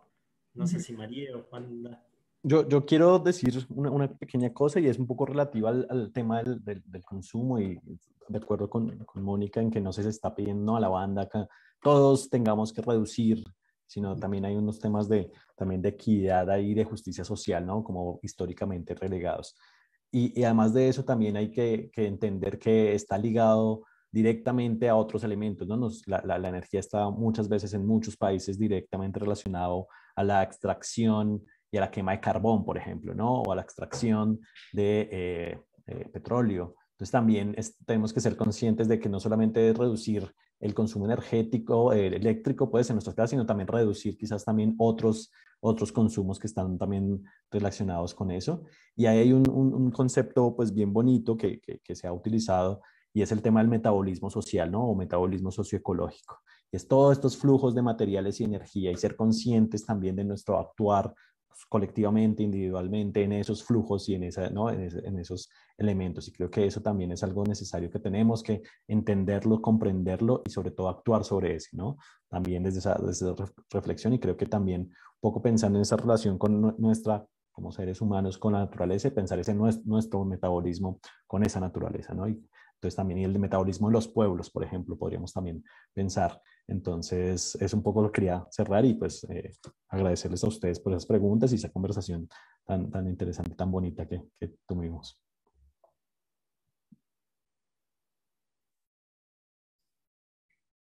Este, eh, bueno, también como de las, o como regresando un poco a las anécdotas de, del documental, eh, bueno, decir que al inicio eh, queríamos hacer tres videitos de siete minutos sobre los tres casos. y en realidad iniciamos, eh, iniciamos el rodaje eh, no en el orden en que está contada la historia, eh, sino por la, el rodaje de Guatemala. eh, porque pues es, es, una zona muy difícil de acceso, ¿no? Este, son 12 eh, horas de, en, en, carro desde la ciudad de Guatemala, pero 9 horas de, de terracería, es, es, muy, muy, muy difícil llegar hasta ahí. Entonces fuimos todos en grupo, ¿no?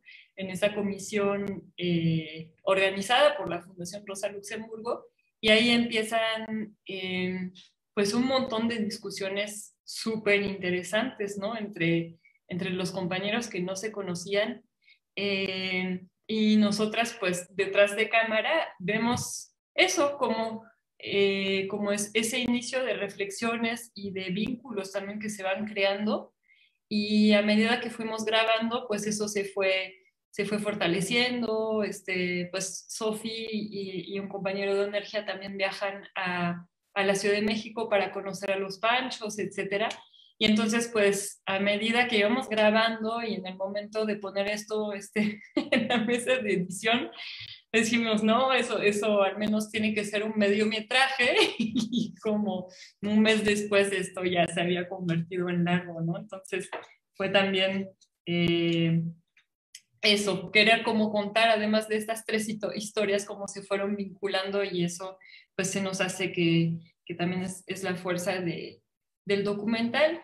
Y, y, también pues contar que uno de, uno de los protagonistas de la Sierra Norte, eh, don Álvaro, que, que, aparece en el documental, pues nos dejó eh, a, inicios de año, no, más bien a finales de, de 2020. Eh, que fue una gran pérdida y, y, a la vez pues esperamos que, que el documental pueda ser un homenaje ¿no? para, para este gran referente del proceso de la Sierra Norte y que estuvo pues, eh, pues tuvo una participación muy relevante en, el camino hacia la soberanía energética en, en, en Muchísimas gracias, Sofi. Sí, perdón, yo quería nada más terminar mi participación. Quiero responder las preguntas de Rosy, creo. Eh, ¿Qué estrategias se sugieren eh, cuando, como estrategias para el diagnóstico? Eh, pues, ¿cómo hacemos que los pueblos participen? Pues participando, ¿no? O sea, ¿cómo levantamos la voz? Pues justo asumiendo la responsabilidad de generar espacios de diálogo y de intercambio de saberes. Eh, no hay otra forma, o sea, tenemos que poner en esfera de lo más importante que tenemos las comunidades y los pueblos, el, el podernos a, a, estudiar, el ponernos a hablar, el ponernos a indagar, el buscar eh, información que nosotros podemos digerir.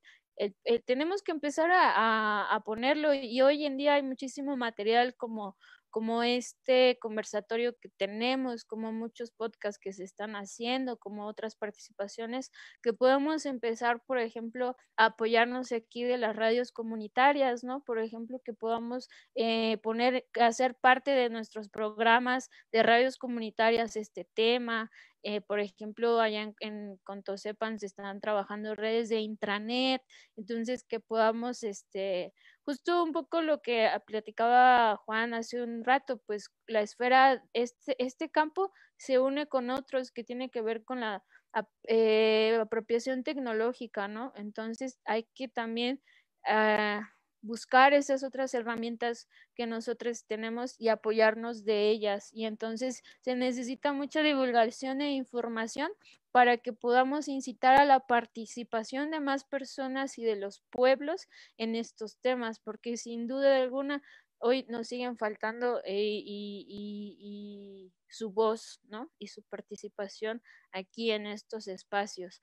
Segundo, para Casiel, eh, que tiene que ver con, con esto del consumo. Quiero solo contar este, una anécdota que nosotros tuvimos cuando nosotros empezamos el proceso de soberanía energética eh, con los pueblos Maceo, Altotonacos y Mestizos, tuvimos la oportunidad de ir a dar un taller sobre consumo de energía en el campamento que se instaló para clausurar la subestación eléctrica eh, que de uno de los proyectos, megaproyectos de muerte que, que, se estaban pensando instaurar allá en Cuetzalan.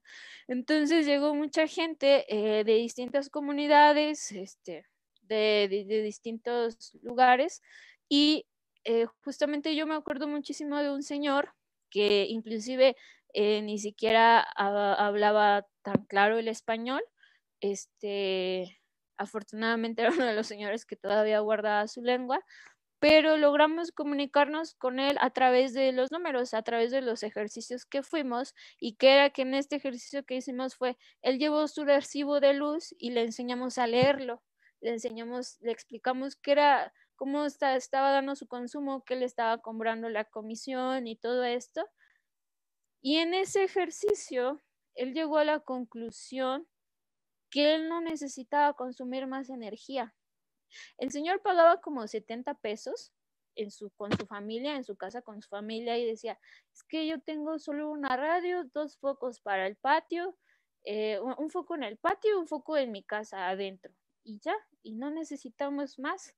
Y entonces, ¿por qué las personas que están trabajando en este proyecto nos están diciendo que van a poner una subestación porque necesitamos más energía eléctrica.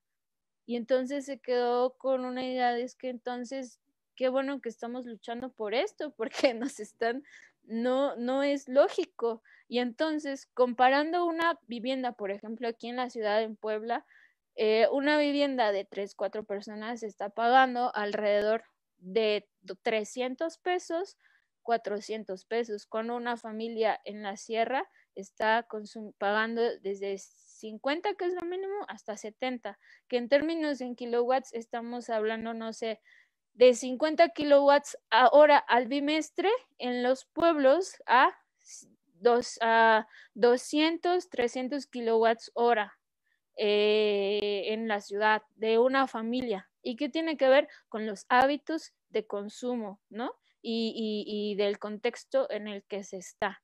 Entonces, este, solo quería, ah, bueno, y otra cosa bien importante, perdón, es que estos procesos, una parte muy importante para que se gesten, no solo es como que los pueblos estén informados y, y que tengan este diálogo, sino que también es bien importante que existan organizaciones base como cooperativas. Por ejemplo, en el caso de la Sierra Norte ha sido bien importante la participación de cooperativas como la Unión de Cooperativas Tosepan, como la cooperativa Siwamec, entre otras organizaciones, así como el, el Consejo este, que es el consejo que trabajó todo el ordenamiento territorial, eh, organizaciones de base como los Panchos y organizaciones como las que pudimos ver que se están gestando eh, en Guatemala. Entonces, es bien importante que para que los procesos de soberanía energética se puedan nutrir y puedan crecer,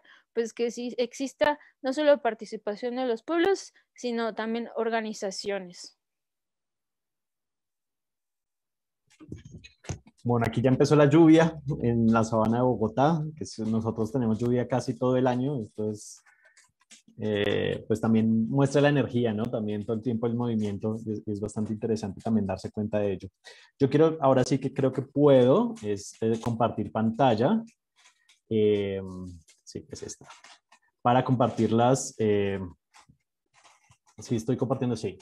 Eh, las ilustraciones de Luz eh, Ángela Brito, ¿no? Ella es una diseñadora de La Guajira, también que reconoce mucho su cultura, su acervo, y un poco aquí representa a Ti. Ati es una lideresa indígena Iku o Arhuaca, que ella misma ha generado este proceso que se llama Murunmuke. Murunmuke es una, un proceso bastante interesante y una casa de la educación. Entonces, digamos, con todo esto de la pandemia, ella y otros de sus de su familia estudiaban en la Universidad Magdalena y ya por, eh, por, las condiciones de bioseguridad no les fue posible ir a Santa Marta, la ciudad de la, universidad, y tuvieron que regresar a la sierra, un lugar que no tiene energía eh, pues eléctrica constante. Entonces ya hizo una gestión, hizo todo un proceso de liderazgo para conseguir eh, paneles solares e instalarlos allí en la sierra, eso es a cuatro horas de la, de la carretera más cercana. Y además de ello está iniciando todo un proceso de educación, ¿no? de formación y pedagogía alrededor de, pues, de todo el tema de la energía, ¿no? desde cómo se produce hasta el uso. ¿no? Entonces también este es poco, esta es una de las ilustraciones, está, eh, digamos que, como ustedes lo pueden ver, es una, un borrador, digamos, final. Ya pues esperemos que estén ya finales la, otra. Y no sé si pueden ver esta, que es la otra, de Magalis, ella es Magalis Polanco, una mujer guayú de La Guajira, que tuvo la oportunidad de ir a la India, ¿no? también con el, con el Colegio de los Pies Descalzos, justo como igual que una de las sus protagonistas en el documental, entonces también por eso fue uno de, los, de las relaciones bastante interesantes también que, que se tejieron. Y ella ahorita está también liderando un proceso pedagógico y compartiendo su conocimiento, su saber allí en, Nazaret, que es el último eh, pueblo urbano de Sudamérica. O sea, si pensamos de, de sur a norte, es el último en, en, al norte de Sudamérica. Entonces, estas son estas dos líderes, estas dos mujeres que están allí en sus, en sus territorios liderando y haciendo parte pues de estas conversaciones y sobre todo de estas acciones. Entonces, por eso quería quería también tener la oportunidad un poco de, de, compartirlas eh, antes de que sean publicadas, que me parece también un ejercicio bien interesante. Ya, listo. Eso era como un poco y gracias a, Carlos por, por, también y a, Daniela por, por hacer lo posible por presentar. Muy bonitas. Muchísimas gracias, Juanda. Muchísimas gracias, Sofi, Mónica, María. Pues estamos llegando al, al, al cierre de este conversatorio un conversatorio que estuvo lleno de reflexiones, eh, de muchas cosas. Bueno, a mí la verdad me, me, ayudó mucho para pensar como el tema, ¿no? No es un tema que trabaje mucho, pero que a partir del documental me interesó bastante y que también, pues dentro del ZigZag, eh, pues también estamos pensando, ¿no? Como esta pregunta del inicio, ¿cómo es hacer esta investigación con los pueblos? Y creemos que esa esa pregunta la podemos responder a través de, eh, del diálogo junto con los pueblos, pero también el diálogo junto con las personas que, están trabajando con los pueblos, ¿no? Al final de cuentas, eh, siento que esto nos ayuda también a, mirar un poco este conversatorio. Estaba en el marco de, este documental que, repito, para las personas que apenas nos están viendo, que va a estar disponible hasta las 12 de la noche del día de hoy en la página del ZigZag. Para quienes no lo hayan visto, no lo hayan visto, eh, se los súper recomiendo. Es un documental muy, muy, muy potente y muy bello. Em, y que también, bueno, esta, este conversatorio estaba un poco más con quienes lo habían realizado, con, con colectivo eh, Unergia, con Juanda, que también tiene trabajo junto con las comunidades, pero es sumamente importante y ahora que lo pienso, pues traer eh, eh, o hacer quizás un encuentro entre las personas de las distintas comunidades, que decía Juanda, bueno, pues hay algunas brechas, pues estaría súper bueno romper esas brechas y que estas personas junto con la cooperativa Tonaltzin, junto con estos procesos, se pudieran encontrar, ¿no? Yo, yo creo que, que sería algo muy bonito eh, que, pudiéramos en esta sinergia ir pensando. Ya, bueno, es una idea nada más. Y bueno, para cerrar, me encantaría este, tomar una, una foto. Eh, bueno, ahora sí que cuando, cuando cerramos algún evento nos gusta tomar una fotografía para que, para que quede registro. No sé si haya algún, algún problema con ello. Este, si no, pues nada más les pediría que, prendieran sus cámaras. Ahí Moni ya se nos tuvo que ir porque se le acabó la energía que nos decía hablando de energía. Entonces, bueno, ahí va la, la foto a la 1, a las 2 y a las 3. Y ahí va otra a la 1, a las 2 y a las 3. Y bueno, con esta foto cerramos este conversatorio. Muchísimas gracias, de verdad, de todo corazón. Eh, y un gran eh, agradecimiento eh, a Sofi, a María, a Juanda, a Energia, a la Sandía por aceptar esta invitación y pues, pues sepan que, las, puertas del ZigZag están abiertas siempre para, para ustedes y pues no sé si, si quieran decir algo nada más para cerrar o algo así. Si no, No, muchas gracias, Adrián. Muchas gracias al ZigZag. Muchas, es un gusto poder compartir, saludarnos, Marí, Juan. Y pues nada, muchas gracias. Que tengan una muy bonita tarde. Sí, muchas gracias. Gracias por el espacio. Fue un gusto compartir con ustedes. Ojalá pronto nos volvamos a ver. Y como decía Juan David, este, ojalá también pronto regresemos a, a eventos presenciales para abrazarnos. Gracias. Para compartir la energía colectiva. Sí, por favor. Buenísimo, pues muchas gracias. Ahora sí que les mando un abrazo hasta sus territorios y bonita noche. No se pierdan el documental. Las personas No, véanlo más de una vez, tres más veces. y ahí nos escriben cualquier impresión. Cuídense mucho. Adiós. Abrazos. Chao.